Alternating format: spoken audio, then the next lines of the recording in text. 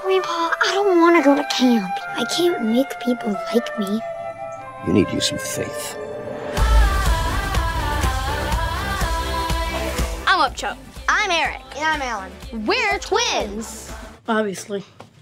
Ow! Didn't see you there. Guess I forgot to look down. I'm gonna. You're gonna what? Uh, for the record, I wanted to be known I had very little to do with our current situation.